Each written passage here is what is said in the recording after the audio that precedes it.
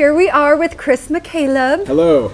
I love that you bring something new to the online world. Talk to us a little bit about the series that you're working on. I, I feel like I bring something old to, to? YouTube. Yeah, I mean, Please I- explain. Well, it's, it's it, you know we started doing YouTube videos. I have a company called Big Fantastic. Mm-hmm. We started doing YouTube videos. We did a series called Sam Has Seven Friends, which was a daily scripted drama series. Every single day, five days a week, there was a brand new 90 second episode, and Mm-hmm. there was a cliffhanger, and you have to come back tomorrow for more.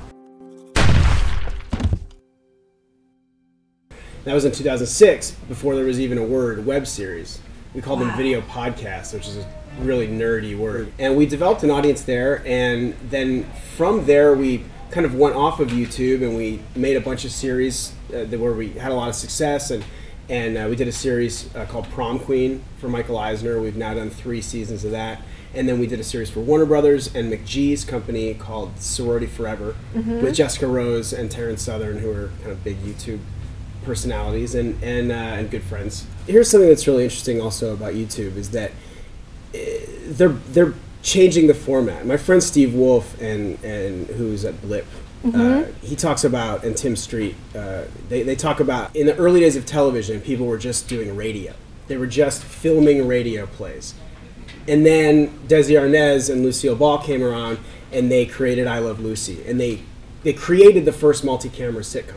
That that format that we're still using today. They created that in the 40s, I guess, 30s. I don't know my dates. Back in the day. Yeah, I didn't. I was not told there'd be math in, as part of this interview. And and so yeah, so I think what we're seeing now, you see a guy like Shay Carl.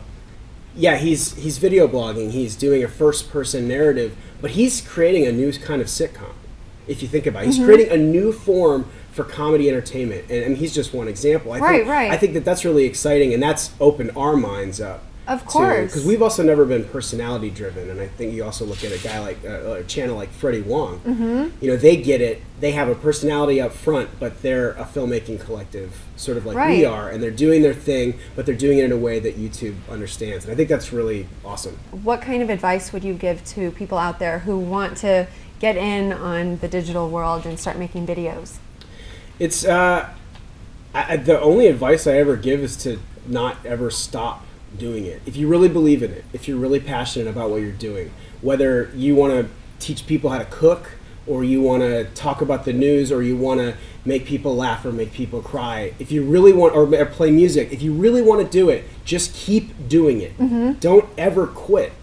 There is no finish line. You're always striving to hit some new mark. You're always working, and if you love it, you, you, you just keep doing it.